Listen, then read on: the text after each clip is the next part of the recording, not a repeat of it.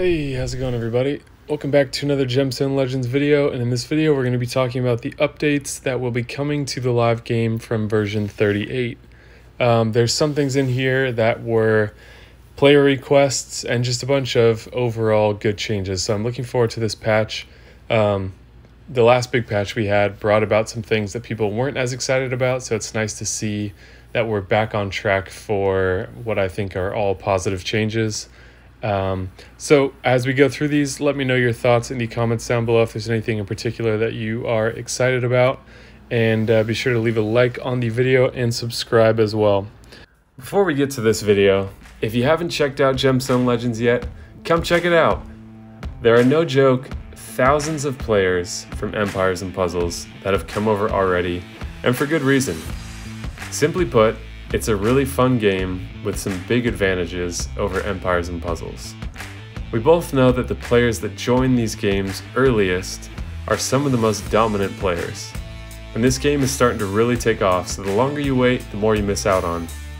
Not only can you support the channel by using the download link in the description of this video, or by scanning the QR code on your screen, but doing so will also give you a free $50 starter bonus with an epic hero gems, and gold coins, all for free just by using the link or QR code provided. And then when you start, you'll gain access to beginner events exclusively for players who use the link or QR code provided that will give you another strong epic hero, a set of 5-star legendary equipment, and a platinum scroll for another guaranteed epic or legendary hero. Lastly, I have created a bunch of videos in a Gemstone Legends playlist on my YouTube channel to make learning this game as easy and fun as possible. So hit that download link in the description and get started with one of the most fun and deep Match 3 RPGs. There's a great community in Gemstone Legends, it has some huge advantages over Empires and Puzzles, and overall I think you guys are really going to like it.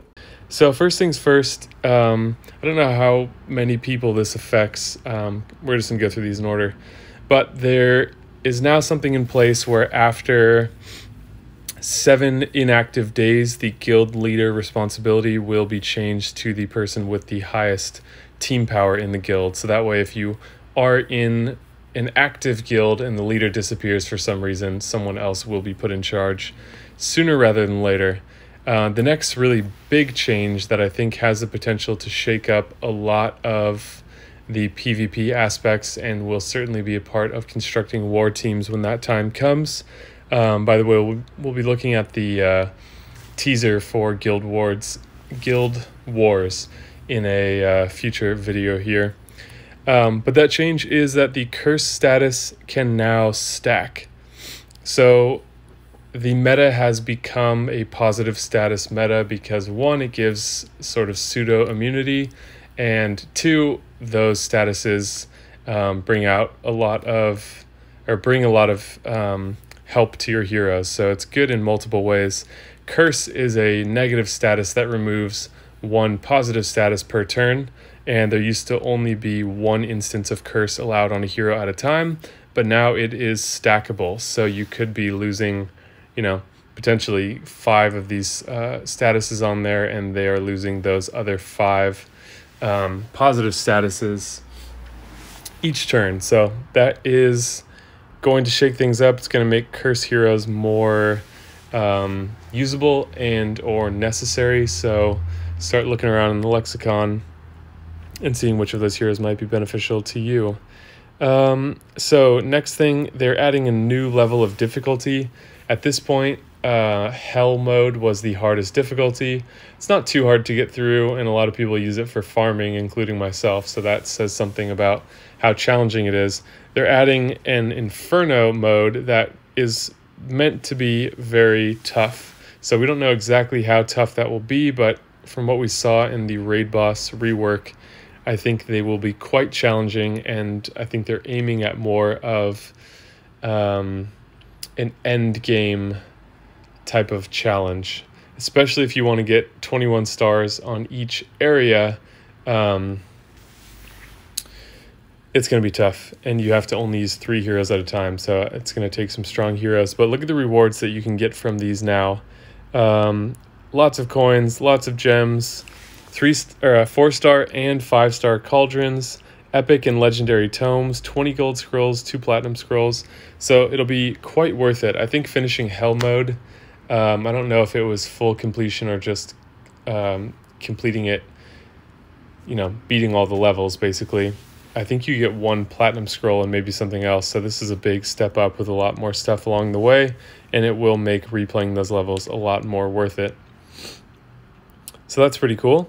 Uh, there are some new guild management features coming. Um, I think leading a guild can be a little difficult right now with communicating things and trying to get help from people. So you'll be able to appoint um, different people into help roles. One of them is a vice leader, who's going to have the same rights as leaders. So that will allow people to divide up the responsibility more equally. Um, let's see here. So it'll be easier to see the attack and check in history um, to see who is actively participating versus who is not actively participating in these guild related events. Um, check ins and attacks on the raid boss during the day, the day before, and from the last seven days. So you can get a clear idea of, of who is doing their part, basically, which I think is a really cool change and is not something we ever saw in Empires and Puzzles. So it's nice to see a newer game putting in the effort to to help out. Um, a new window on the guild tab where a guild leader is able to put the rules of the guild, pinned messages, members' contributions in events, a chart that will allow members to check how many points other guild members have contributed towards the guild event. So if you've been hiding behind other players to complete those things, you will be exposed now, unfortunately. But it's all in the interest of fairness and making sure that everyone is contributing as equally as possible because that's how you're going to climb um, that much higher. They're also going to be adding a guild offer that will um, give things to you and to all the guild members. So we've seen this in Empires and Puzzles, and there's also the option to donate anonymously if you prefer that. Um, but that is an interesting option as well. I know a lot of people like those kinds of offers where um, it gives a little bit of something to everyone. Um, so, free artifact removal days, these were hinted at a while ago, and they will now be coming soon. So, the way it's going to work is once every month for 24 hours, you can swap artifacts on your heroes completely for free. So, this will allow you to try as many permutations as you want. Um, I think it'll be a very busy period, but the way that it works now, sometimes you want to try a few things to see if it's better, and then you might want to switch back, and that can end up being a costly thing. So you'll want to try to squeeze as much of that into this one day as you can. Um, so it's nice to have that because that can save you millions of coins depending on how active you are. They're adding a new library feature which will include all the tooltips that exist throughout the game in one place. So you don't have to go, oh yeah, where do you see the um, color affinity stuff? Oh, you have to be in a level and then you have to click the button that's in there. No, you'll just be able to see all that stuff in one place. So that's a cool um, idea. I think this will be a new building on the base, but I'm not entirely sure. Um, account management. So I'm not totally sure what's going on here, um, but I think they're trying to make it easier for people who have multiple accounts or the same account across multiple devices, maybe, where they allow you to skip the tutorial and some other things like that. I don't know if that'll benefit a ton of people, but um, this is all on the Reddit page if you do want to learn more about if that will impact you. Uh, statistics windows a lot of people have requested this. Um, a lot of people have requested to be able to see the statistics of your enemies, and the Gemstone Legends team has held strong to not wanting to make that available. I think they like the idea that you can surprise someone with your hero build um, because there's a lot of customization possibility with the equipment that you put on. So, um, this will at least allow you to see it for your own heroes you'll be able to see the artifacts, the stats from those, the statuses, um, abilities description, and you'll be able to see those in a number of places. So before the battle starts, battle summary, battlefield, many other places. And I think this will help you understand things like how the passive abilities of your heroes work um, and to know how they influence the stats. So, just giving you a little bit more of a clear vantage point on what's going on with your heroes and how you can impact that, which I think is a great change. You'll be able to see this information for the raid bosses as well. Things like resistance, accuracy, speed, and mana gain. This will allow you to um, make more informed decisions without having to look really hard for this information.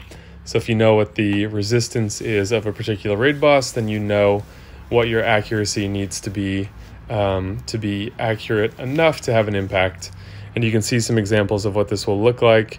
Uh, this hero arena, you can see the gear that's on her and the various effects and stuff that will be um, present at different times depending on what's going on in the battle. So more clear information. I think that's a great change.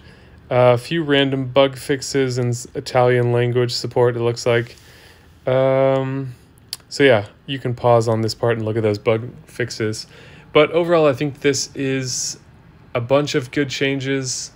Um, to me, it shows one, that they're listening to players, and two, that they're very interested in developing the game um, to be better. So it's nice to see things that really are quality of life changes, knowing that at the same time they're working hard on bringing things like Guild Wars and you know who knows what else, other um, other events or features that we don't know about yet. So glad to see they are um, busy making these changes for us. Glad to be able to review things with you. If you have any questions or comments, leave those in the comment section down below. Thank you guys so much for watching, and I will see you in the next video.